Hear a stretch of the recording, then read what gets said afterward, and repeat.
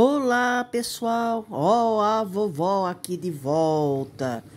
Hoje o assunto vai ser Andressa, mãe de cinco. É a menina, mulher da Grande Recife. Sim, Araçoiaba, perto de Paudalho, tudo junto ali. Comecei a assistir os vídeos dela porque foi pedido lá no canal que eu fizesse uma resenha sobre ela. Já me choquei de cara que ela estava com 87 parcelas atrasada da. Eu acho que minha casa, minha vida. E aí começou nos vídeos lá, quem quiser que acredite, saia do canal. Gente, não é bem assim que a banda toca. As pessoas que são inscritas, pelo menos uma satisfação a gente tem que dar. Não ficar mandando sair do canal. Isso não existe.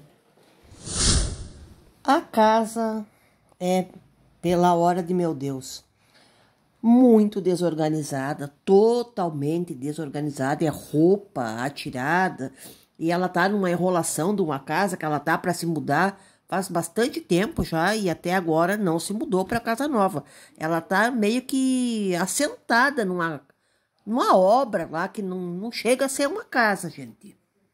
E mesmo que fosse uma obra, a pessoa pode se organizar, pode ter capricho, não há necessidade de ficar daquele jeito.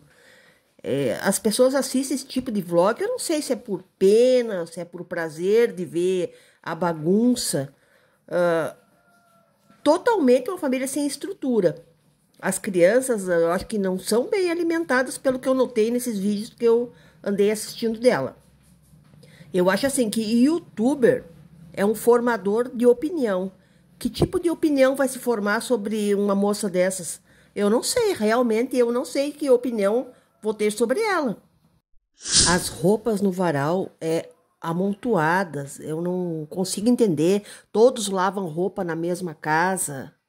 É muito assim, família muito achegado, irmão, mãe, é uma irmã, eu acho que, inclusive, está fazendo divulgação de canais. Se alguém tiver interessado em divulgar o canal lá na irmã dela, eu acho que deve ter agora uns dois mil inscritos, mas ela está cobrando para divulgar canais, tá? Ela diz que o marido está trabalhando fora. Isso eu já não sei, porque não acompanho tão de perto assim. Então, isso fica para vocês que pediram aí, me digam se o marido trabalha fora ou não. É uma dúvida muito grande. Eu andei comentando em live que para a pessoa ter cinco filhos tem que ter condições.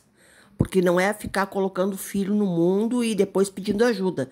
Porque eu vi vídeos dela pedindo ajuda até para pagar a energia elétrica é, estranha. Um ano atrás ela pedia para pagar energia elétrica. E com um marido bem jovem. Será que é outro arrasta-chinelo? Eu não quero acreditar. Porque já estão desconfiados as seguidoras dela que o marido está em casa. Não tem nada de marido fora. Vamos ver o que, que acontece daqui para frente.